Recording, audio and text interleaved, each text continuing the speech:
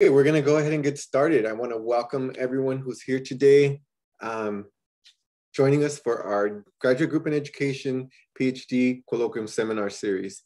In this series, we are um, celebrating lifting the work of our PhD students uh, in the graduate, school, graduate Group in Education who are done and or are about to be done with this huge accomplishment um, to, to complete their, their PhD programs. I am Danny C. Martinez. I'm an associate professor in language literacy and culture and also chair of the graduate group in education. This is week eight of such a long year, of such a, um, a quarter that, uh, uh, uh, the end of a quarter where many of us are feeling um, the intensity of the year, the, of the pandemic, of the racial reckoning, fires that happened that devastated our community. So I just really want to thank you all for being here. Um, today, I want to welcome folks from all over the the globe, actually. I'm seeing that we have folks here from all over the region, Davis, Sacramento area. We have folks here from, in, um, from listening in and joining us from Barcelona, Texas. And I want to give a shout out to the Chicago community that's here to support Vanessa Segundo. Um, bienvenidos a la familia Segundo que están aquí para apoyar a la soon to be doctora Segundo. So I want to um, really thank you and, and welcome you all to this um, virtual seminar series. I want to pass it on to uh, Doctora Marcela Cuellar, who, will, uh, who has the privilege of, of introducing Vanessa Segundo to us today. Thank you all. Good afternoon, everyone. Um, as Dr. Martinez mentioned, I'm um, Marcela Cuellar, and I have the distinct honor and privilege of being Vanessa's um, primary advisor and dissertation chair. And so I've gotten to know her work very intimately over the last seven years. Uh, Vanessa and I actually met first when she enrolled in my 2014 class when I was starting off here at UC Davis, um, looking at issues of access and equity. And from there, she was really focused on looking at retention, understanding current retention theories, uh, specifically for Latinx students. But I could already tell at that time that she was really going to be pushing the field of higher education in these very important ways to think about Latinx students more intentionally and how can we more authentically serve this student population.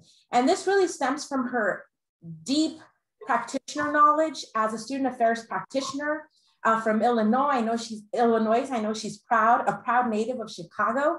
And um, it's been quite an honor to work with her as her advisor and also to collaborate with her on a publication and create something together. And really based on the assets of Latinx students and thinking about how do we create institutions that truly better support these students. From the moment that Vanessa arrived at UC Davis, she has demonstrated her strong leadership and deep practitioner knowledge and really the ways that she can build her scholarship and her practice together to really transform and support student success.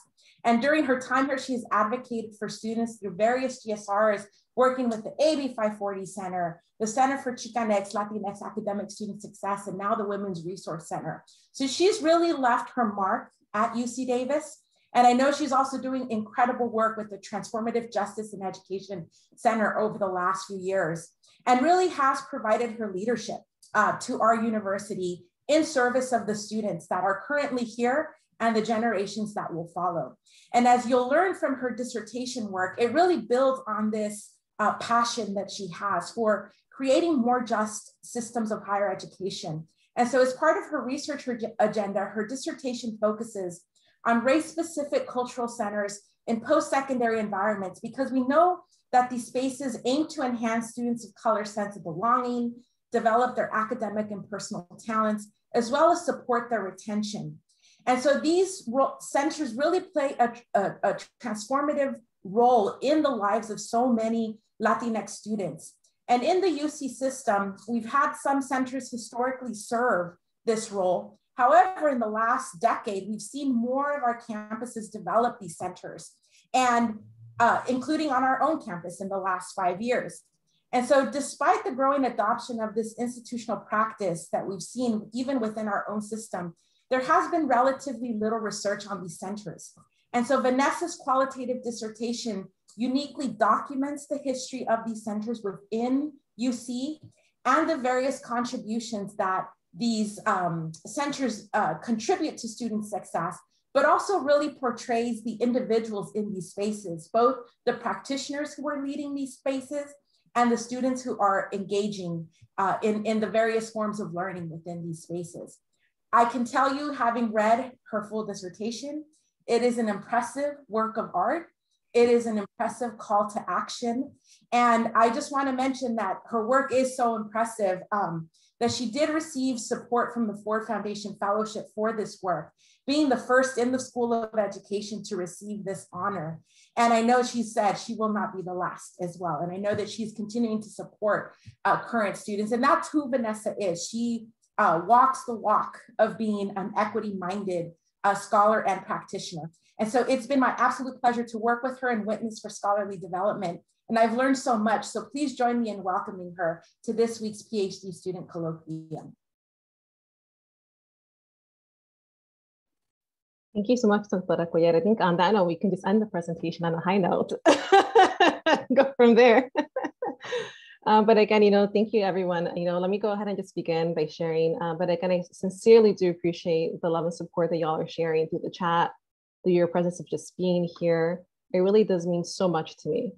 Um, so let me go, there you go. Okay. All right, y'all. So first and foremost, thank you all for taking the time and energy to be in attendance today. I sincerely hope that your families and you are well as we navigate the global pandemic and racial violence across, across the country. My name is Vanessa Segundo. I'm currently a PhD candidate in the School of Education at UC Davis. I use she, her pronouns. My presentation, We're Not Here for a Photo Op, Engineering and Latinx Student Success, reflects my commitment to work towards justice, seeking equity-oriented understanding of Latinx futures before I begin, I want to take a moment to thank my community for your infinite, infinite support, time, and prayers. To my parents and siblings, y'all made the impossible possible to ensure that my love for learning was nurtured and that my confidence as a chingona was unwavering. Um, they're actually all here today, so round of applause for all of you coming through. Um, papi y mami, muchas gracias por siempre recordarme que por el simple hecho de ser su hija, estaba destinada a ser algo más grande y poderoso en la vida. A mi esposo y mis hijos, Estoy infinitamente agradecida con ustedes. Mami, les mando un abrazo muy fuerte por ser comprensibles, flexibles y pacientes. Los amo con todo mi corazón. To my best friend Shantae Randall, thank you for always holding space uh, as we both cried and laughed throughout these past seven years. To my sister scholars, y'all are some bad people. Dr. Bernadette Besgreen, soon to be Drs. Calzon Mubengsu and Liz Flores, Amber Hernandez, y'all breathed life into this doctoral journey to the incredible student affairs professionals that have invested in me. Thank you. I want to recognize Cecily Nelson Offord for humanizing me as a mother scholar. Uh, you taught me to lead and uh, lead and uh, with heart, humor, and astrology. To my TJE family, you taught me to be in community. Doctors Maisha and Torry Winn, Amber, Jeremy, Adam, and Hadari, I see you. To my mentors in the School of Education, thank you for all your support to my dissertation committee, Drs. Marcela Cuellar, Maisha Winn, and Susie Cepeda, all present with us today. I sincerely appreciate your words, time, presence, and light. I have grown in ways I have never imagined. To all the students and families who have had the honor of walking and building alongside, this is for you. Now let us shift to my presentation. I invite you to enter this platica as my partner in engaging how I consider my research, a project of recovery of remembering. I call your attention to the image you see on the screen, a picture of a sign that was in one of the Latinx cultural centers that is part of the study. It reads, remember to eat well, to hydrate, to sleep, to affirm yourself and others, that you are more than what you produce, that you are loved. Let this ground us in these intentions, especially as we come together amidst crazy end of the year schedules, where indeed the testimonies I am about to share regarding the lived experiences of Latinx student affair professionals are truly a labor of love, not meant to be captured as a performative gesture of institutional servingness through the lens of a photo op.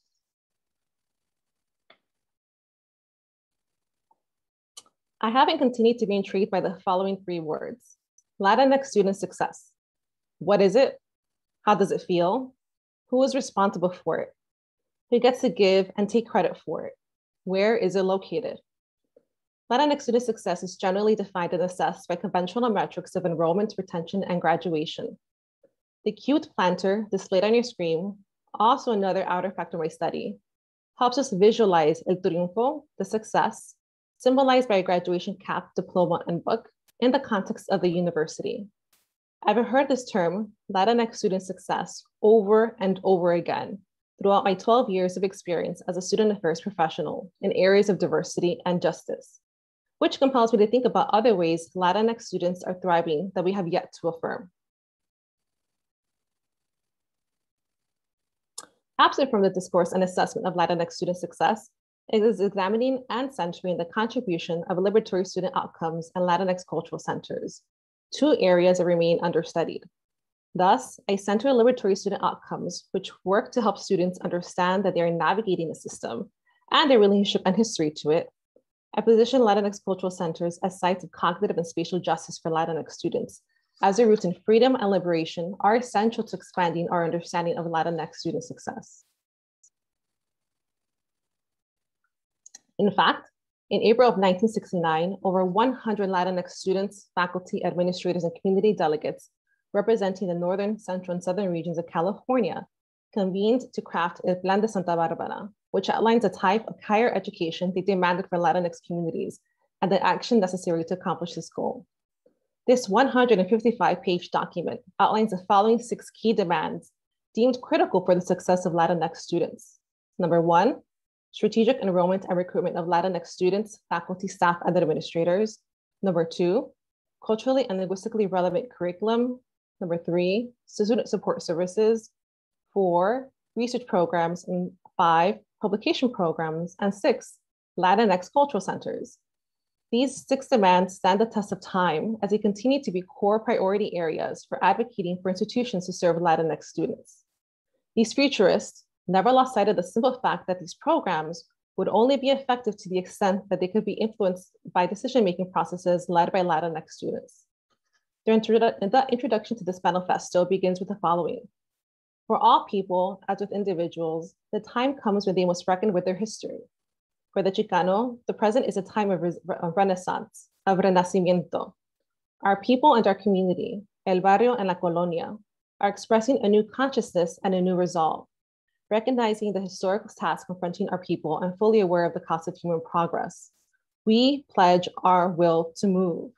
We will move forward toward our destiny as a people. We will move forward against those forces which have denied us freedom of expression and human dignity throughout the history of the quest for cultural expression and freedom has taken the form of the struggle. Our struggle, tempered by the lessons of the American past, is a historical reality. These intellectuals and community organizers were looking towards the future of Latinx students in higher education.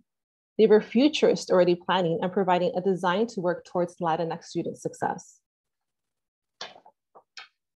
I too need to acknowledge the OG futurist in my life, as this grounds my orientation to the study I will subsequently describe.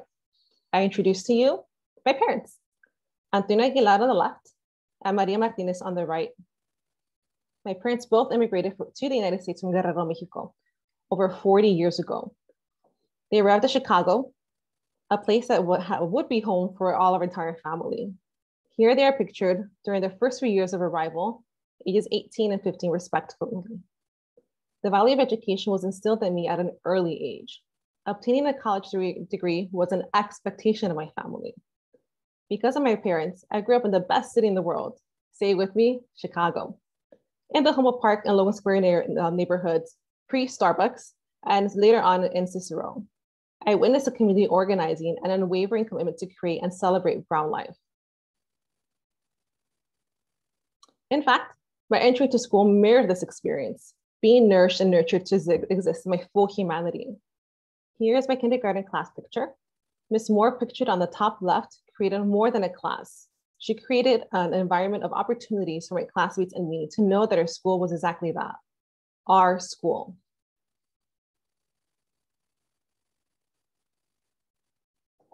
My undergraduate journey was a complete opposite of my early years in school. I transferred between four different institutions within four years, I started off at Dominican University, then over to DePaul, moving on next to Morton College, and eventually graduating from UIC as a political science major and minor in history. However, I had no time to question the racism, nativism, and other isms I navigated. My undergraduate experience was framed by the actions required to complete a degree and my need to protect myself from susto, soul displacement, that derives from interior migrations, which mirrored my physical displacement across college campuses. I have been on the quest since then to understand how to invest in and transform the lives of Latinx students who, like me, navigate a system not meant for us to thrive. My doctoral education and training provided with a critical interdisciplinary lens by which to interrogate Latinx student success, while also positioning me to celebrate culturally grounded theories and practices that advance the possibility and urgency for alternative futures for Black and Brown communities. Pictured here are the scholars who inspired my work. Doctors Gloria Lanson Billings, Shaun Harper, Maisha Winn, and Bettina Love, providing with theoretical frameworks that humanize, celebrate, and plan for the future of minoritized communities the work of Drs. Dolores Delgado Bernal, Laura Rendon, Tara Yosso, and Susie Cepeda represent the Chicana feminist epistemologies, which providing with the language to name and center Latinx experiences in educational research. Drs. Marcela Cuellar and Gina Garcia's groundbreaking work on Hispanic serving institutions remind me to move the needle on the concept of servingness in relation to student outcomes. Also inspired by the work of Estela Bensimon, in which she details, I quote, five principles that provide the architecture that leaders and practitioners need to build equity by design to enact educational reform in higher education. I would like us to think how, I would like to first um, invite us to think about universities as a system and how it was built by equi in equity by design. For instance, let us acknowledge its roots in settler, settler colonialism and a whiteness. Through his extensive social historical analysis, Wilder explains how the first five colleges in the British American colonies including Harvard, William and Mary, Yale, and Princeton, were, quote, instruments of Christian expansionism, weapons for the conquest of indigenous peoples, and major beneficiaries of the African slave trade and slaver.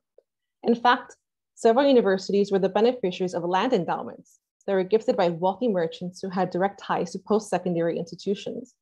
Universities facilitated colonial campaigns by their movement to evangelize and, quote, educate indigenous peoples albeit through terrorism and genocide.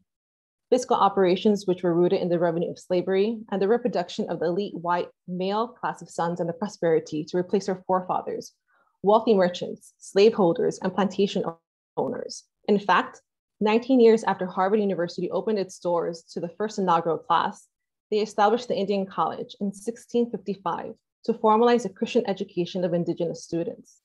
Indigenous children were forcefully enrolled in the Indian College, through the encouragement of college administrators who, quote, recruited indigenous children from friendly or enemy nations by, quote, invitation, purchase, or kidnapping. Secondly, universities were not forecasting changes in student demographics we are witnessing today. Let's take, for instance, the Latinx population as an example.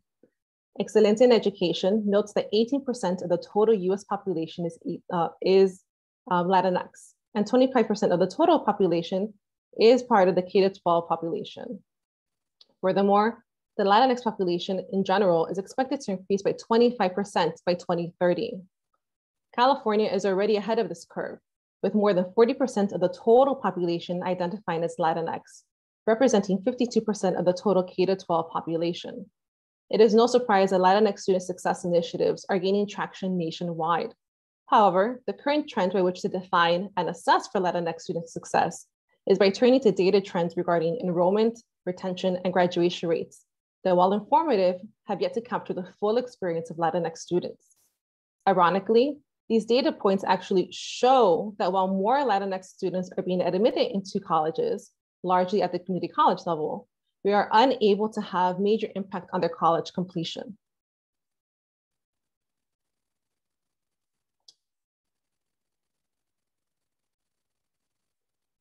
Thus, what I am aiming to do is really interact Latinx student success by looking at liberatory student outcomes and Latinx cultural centers. We're really thinking about one, what is the importance of Latinx uh, liberatory student outcomes in deconstructing and dismantling the Eurocentric paradigm? And secondly, looking at, again, the social spatial justice uh, implied and represented by Latinx cultural centers.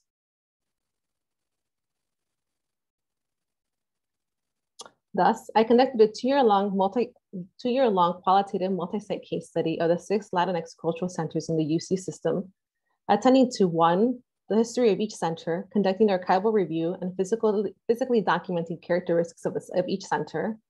Secondly, learning about the practices and paradigms employed by each of the center's directors.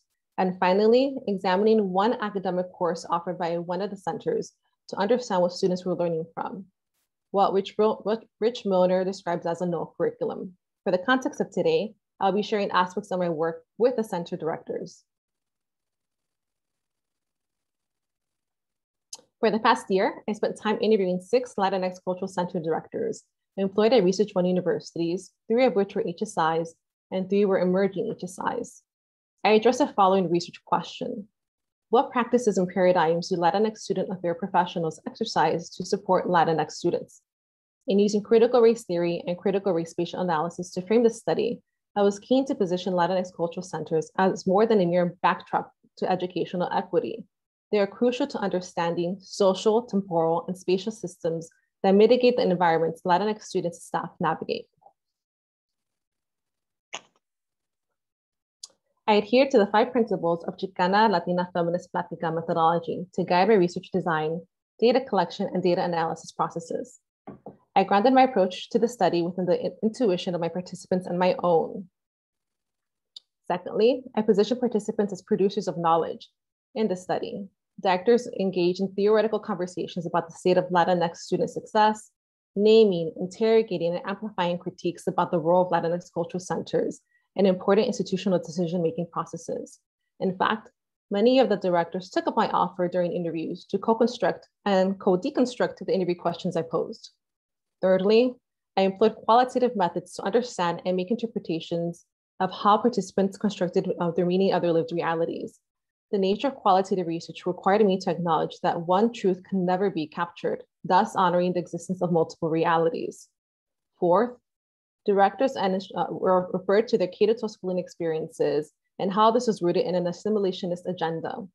This included a privileging of a deficit-based curriculum that centered whiteness, physical and psychological injury implicated by their school teachers, and peer aggression they experienced to the othering of their bodies.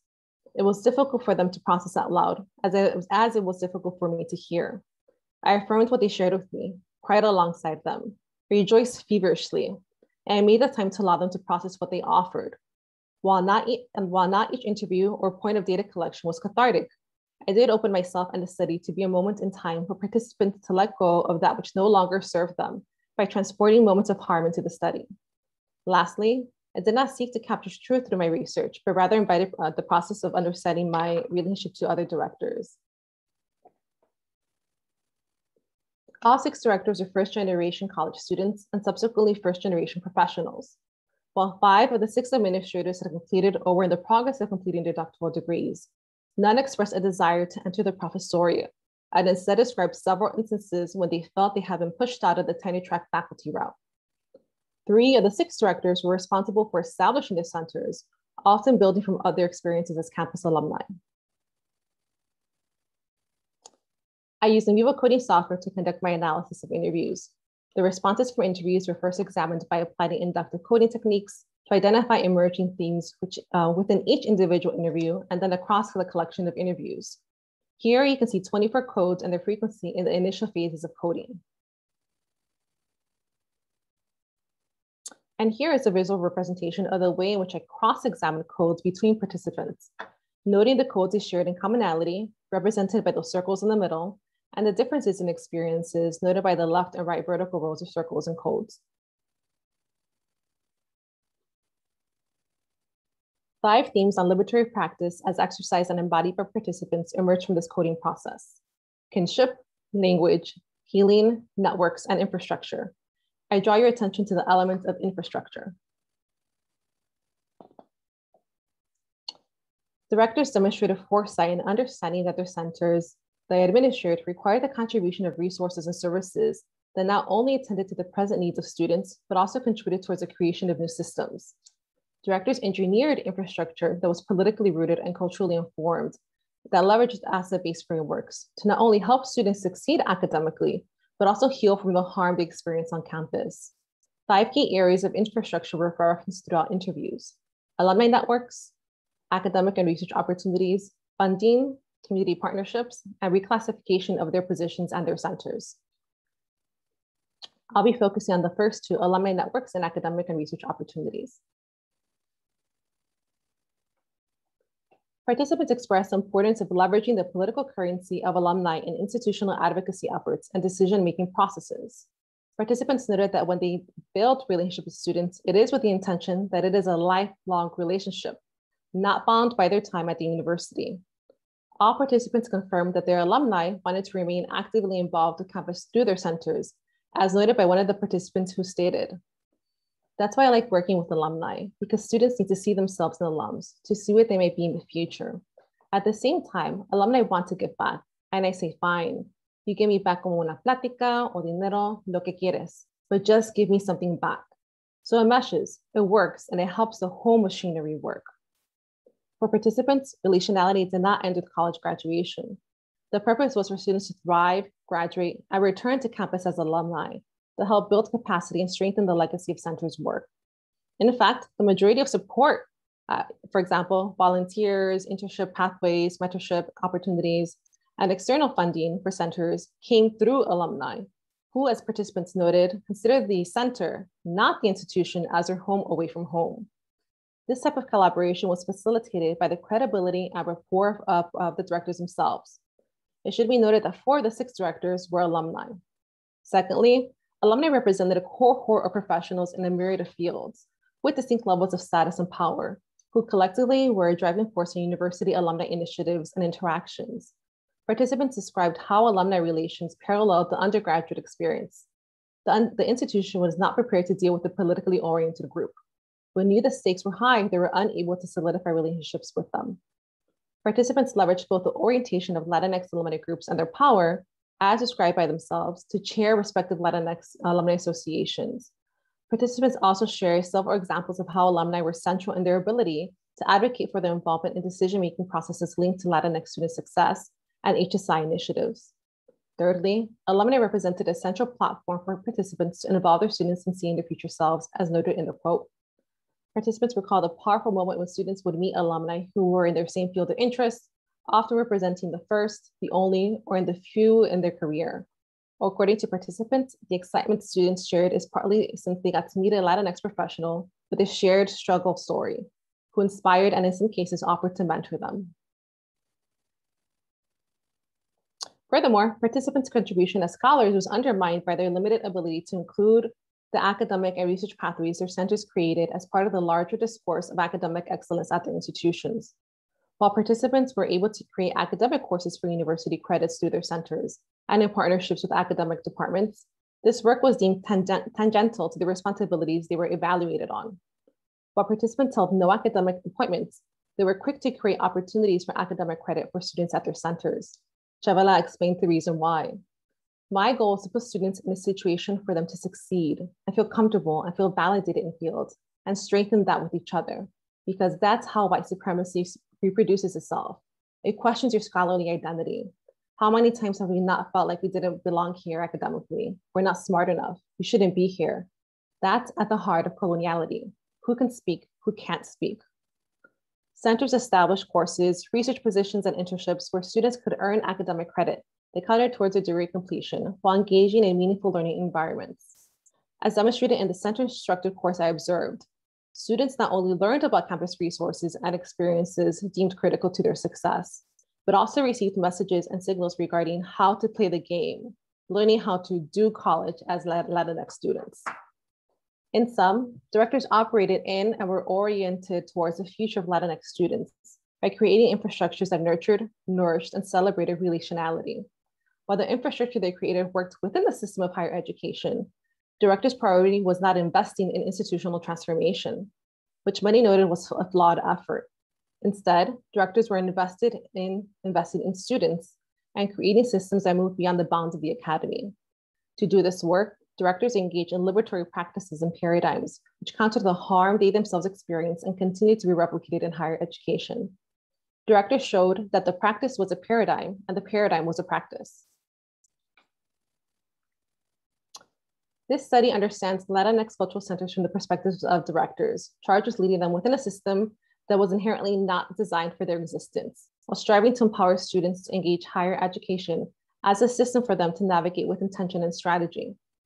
the existence of Latinx cultural centers and the work of directors remind us that universities are not willing and ready to create the conditions and policies necessary to engage in the systemic dismantling of whiteness in higher education. The future of Latinx cultural centers is a port for understanding a critical dimension of the future of Latinx student success, relationality. During the early stages of my research design and data collection processes, I was eager to understand the features, characteristics, and frameworks of Latinx cultural centers in hopes of identifying the ideal model of these spaces, the most effective of their type, buying into this notion that Latinx cultural centers had a magic potion or wizard wand to solve the crisis of failed Latinx college students. But in fact, it was during my second interview with Pedro, one of the directors, where in an exchange of a reflection about our experiences as Latinx student affairs professionals, I realized that I too was replicating behaviors and ideas found by harm producing politics and who I thought should be responsible for the work of Latinx students. It was in that moment that it became clear to me that Latinx student success is much more than a student outcome or a set of individual characteristics either develop or possess. Latinx student success is an institutional commitment to enter into relationship with Latinx students, families, faculty, staff, and communities, and to do whatever possible to do right by them. You cannot work towards a future with a community or repair a rupture without creating the conditions for their humanity to, to thrive alongside yours. Likened to a chiropractor uh, adjustment that seeks to achieve alignment, higher education as a system needs to acknowledge its self-inflicted chronic pain syndrome resulting from its roots in indigenous genocide, enslaved labor, and colonial agendas that are tucked away within the vertebrae of cultures, policies, and practices that hold tight to whiteness as both a means and an end. Will universities ever be ready to engage in a difficult but necessary work of dislocating and relocating? What are the indicators and signals? Latinx Cultural Center staff and students that engage these spaces reveal the possibilities of creating ecosystems necessary for Latinx student success to be birthed not from struggle alone, but also from liberation.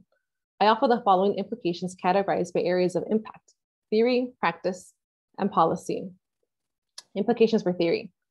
In grounding the study in critical race theory and critical race spatial analysis, I'm reminded of the need to forefront spatial analysis and spatial equity in critical discourses that work towards justice-centered futures. Interrogating the work of directors and engaging the students with Latinx cultural centers provided an understanding of the tensions and possibilities of racialized spaces on campus. In fact, the campus unit itself is a racialized space, not merely a backdrop to educational experiences, but central to the ways participants were afforded the opportunity to thrive. Secondly, implications for practice.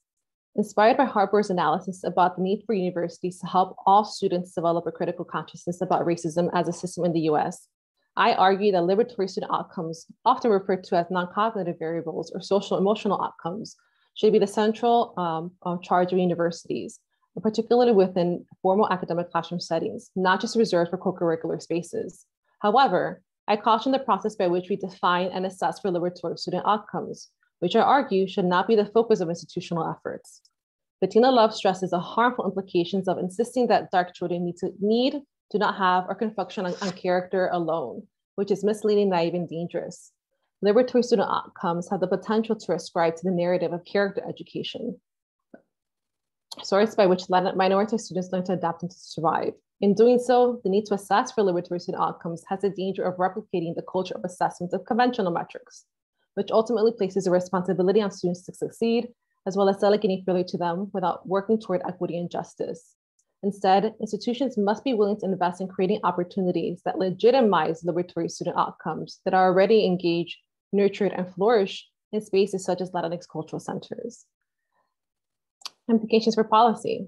Time and time again, directors described how their centers were underfunded, defunded, understaffed, and under-resourced, while still being held accountable to institutional priorities beyond the scope of their work.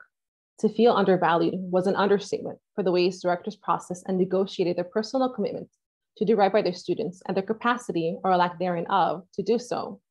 In most cases, centers depended on donations or strategic partnerships on campus to have the opportunity for their programming and services to stay afloat. In fact, at one campus, the director had to advocate for the inclusion of an assistant director for their center to be included in their institutional HSI application, not to hire a new staff member, but to rehire the assistant director that was fired the year prior after a reorganization of cultural staff occurred. The study reveals the need to reinvest resources into Latinx cultural centers, including but not limited to increase in pay and promotion for current staff, increase in center monetary resources for hiring of new personnel, the compensation of voluntary staff, and sustainability of programs and services. And then lastly, Latinx uh, cultural center administrators in the study emphasize that they already know and uh, know and do the work of welcoming, protecting, nourishing, and investing in their own. Although the study did not focus on the tensions within and across the work individuals and departments that support Latinx students, I would be remiss if I did not acknowledge the division, tension, and traumas present in these spaces. Thus, while identifying best practices to do the work of serving can be informative and borderline performative, this study inspires a bigger need to strategize and amplify these pre-existing efforts beyond the ivory tower. Our core social political climate requires us to make this shift. Participants reminded me time and time again that higher education was and continues to be a system that was not created for us to thrive. Let us look towards partnerships with local campus communities, collaborations across the state, and coalitions countrywide to build Latinx futures independent from the constraints of conventional metrics of student success. let us leverage Latinx alumni networks to advocate for the transformation in our communities, we cannot depend on higher education to build futures for our students, for ourselves, and our prosperity that will dismantle whiteness. And in closing,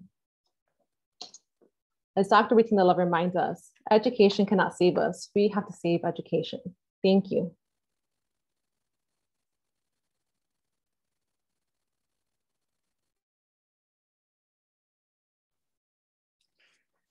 Thank you so much, Vanessa, for, for your for your presentation. I want to open it up to us all. Um, yeah, just just take a look at the screen filled with um, applause and, and love. So um, I now want to open it up to anyone who is, has a question or comment for Vanessa. Can, you can unmute.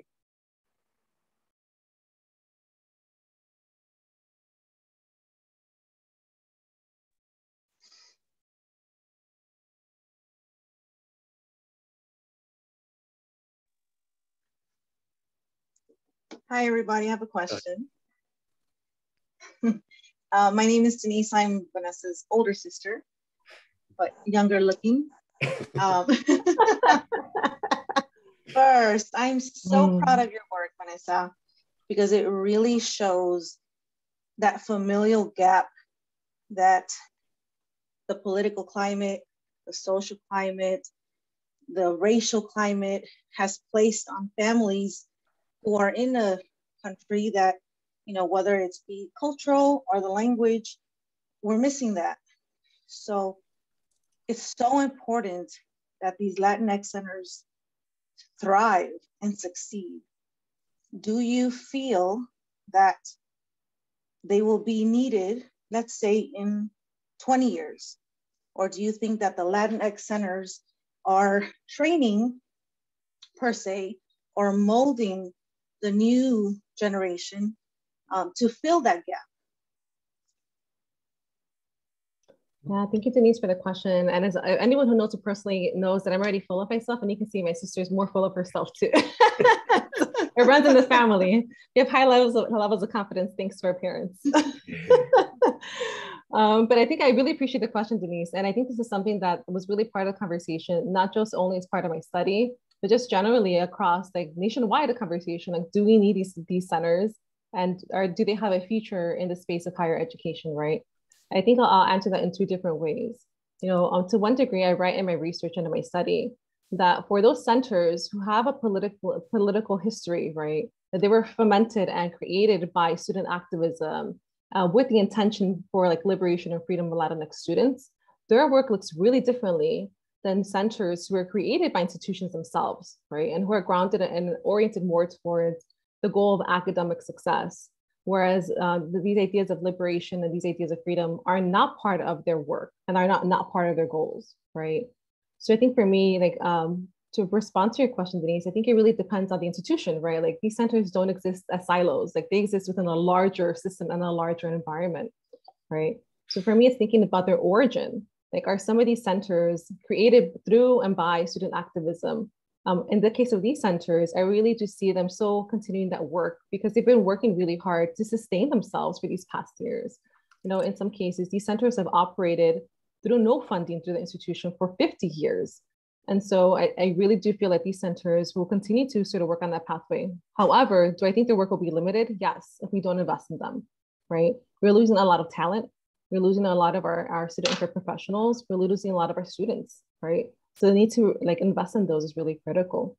And I think for these spaces uh, of centers that are already institutionalized, right? In some cases, the institution itself created these centers primarily in response to and in preparation for um, a changing student demographic or an HSI application. These centers look a little bit differently and distinctly. And so for me, I feel that since they already began from an institutional perspective, they are rooted in institution, will have that funding and will have those resources to begin. However, I think the implications of their work will look really differently, right? So will, is there a future for them? Yes. Um, is the impact of the work going to be different? Absolutely.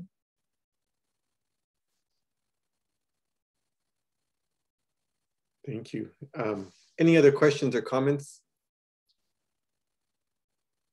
Claudia, go ahead. Sorry, I couldn't figure out how to get Zoom to raise my hand. but um, well, congratulations, Vanessa. It's always great to hear your work. Um, I wanted to see if you could say a little bit about the healing aspect that you um, wrote about in your dissertation. I was, I'm intrigued by that piece because at times I don't feel like that in higher ed we make a lot of space for that. Um, and I think it, it, and I think about it around Latinx students, but I also think about it amongst like white students, um, and that there's a certain need for you know these healing practices, especially as we do a lot of this racial reckoning. Yeah, Claudia, thank you again for joining. I appreciate the question. And I'm wondering, is there a specific aspect of like healing that you are really interested in understanding further or that I can describe further? Yeah, it's. I just saw it as part of your dissertation that it said that it's a, a component of it. So I, I hopefully I didn't misunderstand that. Yeah, no, absolutely, it really is right. So I think one of the things that I uh, that I took away from directors was that their goal again wasn't to transform higher ed. Like that was not their goal. Like their goal was to quote unquote like get students out. Like that was their goal, right? And to get them out and to their fullest humanity. Like that was the goal of these directors, right? And different approaches, but that was the same goal. And that approach is really rooted in their own uh, harm and hurt and trauma from their own experiences of navigating higher ed as Latinx students themselves, right? So a lot of the programming and services of what they did was really uh, in terms of like regrounding students in terms of like identity, grounding students in terms of cultural practices, regrounding students with guest speakers who spoke about these issues of, of like recentering the self, about mental health, right? So a lot of the work was formed by that specific orientation. So healing was really central. In some cases, some centers were bold about healing being central to the work. For instance, at one center, one of the directors uh, was known for doing like spiritual practices of like limpias, of like all these other things. And so students would literally come to the center and ask this person for a limpia, right? So engage in like curandera work with them, right? In other spaces, healing wasn't necessarily part of like a cultural practice per se, but it was part of the discourses and so um, as part of my study, I observed a course for an entire quarter, right? And while again, the conversation wasn't necessarily about healing, it was about from um, preparing and preventing harm, which for me is an aspect of healing, right? And so for me, you know, the directors or instructors are mentioning how what they what their goal was for, for students to come out of higher ed less hurt than they did, right? And so for me, like it was really like that function that uh, they knew that the system was going to harm students um, but again, that their investment wasn't in changing that system because it, nothing would change the system according to these directors, right? That their investment wasn't the student. And so I go further into detail with the study regarding how that healing was, was how that healing work, right, took shape and place within these centers through the programs and services, but mainly to the directors. Thank you. We have a question from Michal, Dr. Kurlaender. Um, Thank you, Vanessa. Super powerful work and um, on a topic I care so much about. So I just really appreciate your work so much. And um, actually, my question um, comes from um, follow up to the question your sister asked you, and I think you hit on it a little bit both in answering her and in answering Claudia, which is, you know, I'm really interested in um, when um, centers like like these can can really intersect with structural policies and and issues at, at the university that are that are um, going to be around um, disrupting or kind of fixing harm rather than just repairing it and at the margins. And so I just would love your, I'd love your um, take on when you see kind of work that um, these centers do that can impl- you know, influence policy more directly at, in higher education in a way that um, maybe doesn't make them go away, as Denise said, like in, you know, like in 20 years or as you suggest, but that really actually tries to repair some of um, the harm that that students come to these centers to sort of address, whether it's in their own, whether it's in courses or in, with faculty or in other ways. So basically, are there kind of policy recommendations that are really about changing the structure of higher education that you learned um, from your from your work? Yeah, thank you, Dr. Kurlaender. I think that's a great question, and I do appreciate it. I think one of the things that your question is uh, bringing up for me is the fact that these centers, uh, well, the majority of these centers, were firmly rooted in not just doing the work of Latinx success on campus, but doing that within the local communities as well. So these direct, these centers had a strong relationship with the local communities, particularly the Latinx communities, right? And so again, like the work of the centers was not just at the university; it was bound by a larger geographic area, right? So for me, it's really reminding me uh, of a lot of the work that we do at the, at the Transformative Justice Center, right? In terms of doing school community partnerships. So for me, in thinking about like policy work, it's rethinking the ways in which we're engaging, again, not just our students, but engaging our communities that we're located in, right? How are we doing our work in service of our communities? How are we engaging our communities to come in to and serve as, um, as like scholars, to serve as part of our partners within initiatives, right? Um, to help us lead and guide assessment, so for me, like it's critical, and the center showed that without a community partnership, not only were they not going to have a sustainable effort, but not only they were not going to have a future, right? Like their future depended on the local community, right? And that was adamant that you know in many cases, many of these centers were were targeted by institutions and thus received a lot of defunding or demotions or firing or reorganization of staff. But in the case where centers had a strong connection with the local community, and local government, they had a sense of a sense or a different level of protection, if you will, right? And so in doing so, that was their livelihood, right? And so for me, in thinking about policy, it's really in that direction. It's thinking about engaging our, our local policies, engaging in sort of the, the work that they also need to see. And, and again, in many cases, like making our campuses a backyard for them, because they are a backyard, right? But how many cases do our communities never come to our campuses, never engage in our talks? How many times is our work not in service of the communities or in languages that they can really uh, understand? For example, even with my presentation today, I was really um, oscillating between using certain terms or not because I, I was like, man, I, I want this to be work that can be understood by anyone. And even Dr. Um, Dr. Davis Silva always reminds us that if your grandmother can't understand your research, then you're not doing the right work, right? And so for me, it's thinking again about like, are we doing the right work with the right people? And will our policy be able to lead us into that direction? Thank you, Vanessa. I want to thank you all for being here again. And if we can turn our cameras on so that Vanessa can see who's here just to um, lift her and, and celebrate her as she wraps up this dissertation. Um, again, I want to appreciate you all for being here and I want to um, welcome you all back next week to um, highlight the work of Dr. Claudia Escobar, who is on here. Um, so we look forward to her presentation next week. And um, thank you, thank you all.